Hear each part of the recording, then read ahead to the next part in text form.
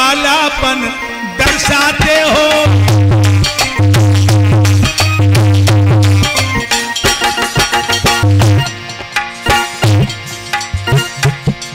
हम समझ गए तुम ईश्वर हो, पर बालापन दर्शाते हो। देवों का काम बनाने को तुम भूल में हमें भुलाते हो।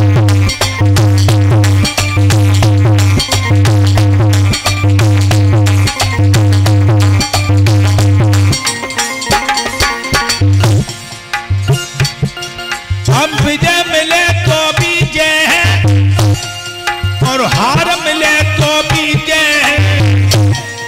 आधार को जीवन। मेरे दोनों हाथ में लड्डू है, आधार का जीवन अच्छे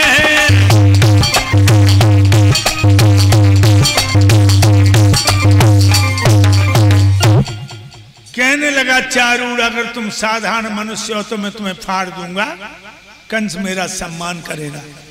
और मुझे वरदान है कि मनुष्य कोई नहीं मार सकता, भगवान ही मारेंगे। और अगर तेरे हाथ से मैं मर गया तो स्वर्ग में जाऊँगा। कुश्ती होने लगी। शंख और चारूर पहलवा हाथ के कंधे में डाल रहे। जगत खिलाड़ी खिलवाड़ों में खेल खेल में खिला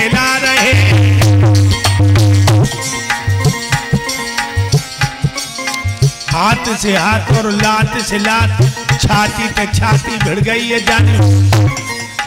कभी नीचे, कभी ऊपर कभी ऊपर, कभी नीचे नीचे, ऊपर ऊपर, नीचे आ रहे हैं जाने। भगवान कभी कभी नीचे भी आ जाते हैं। क्या कर रहा है नीचे? करुणा निधान नीचे नीचे। देखो करुणा निधान नीचे नीचे। कांटों से कांटा मिला रहे। जगत खिलाड़ी खिलवाड़ों में, खेल खेल में खिला रहे।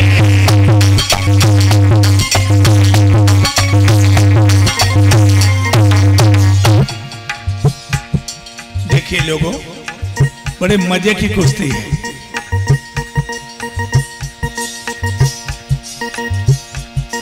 बलरामन मुष्टि को पकड़ो।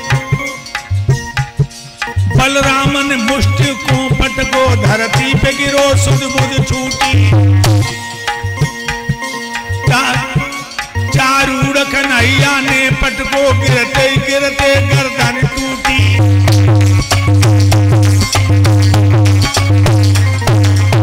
धर गिरा यगी धर गिरा पल भर में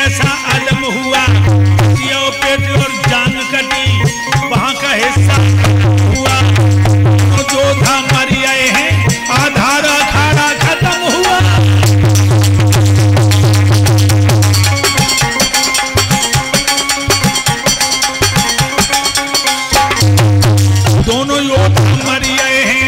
आधार अखाड़ा खत्म हुआ।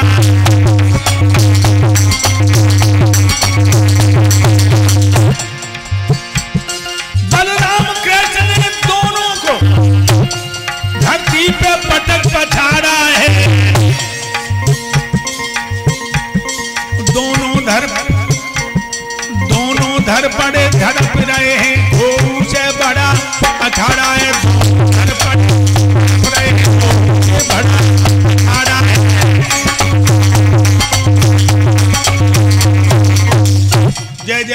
धुनिया बजने लगी हैं। दोनों पहलवानों को मार के कृष्ण बलराम, राजा कंस के सिंहासन की तरफ़ बढ़े। राजा कंसन देखा सिर पे काल खड़ा। कंसासु तत्काल उठा। मन में आया भाग चल लेकिन तलवार निकाल उठा। तेगा को घुमाने लगा। कन्हैया का हाथ मामा की खोपड़ी पे आने लगा। बाल पकड़े, उठा के ज़मीन पे पटक दिया और छाती पे बैठ गई। छाती पे बैठ के दोनों हाथ से बाल पकड़ के नोट के फेंक दिया, कहा, मामा श्री, तुमने मेरी माँ देवकी को बाल पकड़ के रथ में से खींचा था। इसीलिए तुम्हें बाल पकड़ के खींचा है। अब तुम्हारे प्राणों को घर नहीं मिलेगा। जनता का लोहू पीने में कमी नहीं की है। इतना कह के एक घूसा मारा। राजा कंस के प्राण पखेरी उड़ गए। बोलो, आनंद कंद भगवान की मामा मारा गया।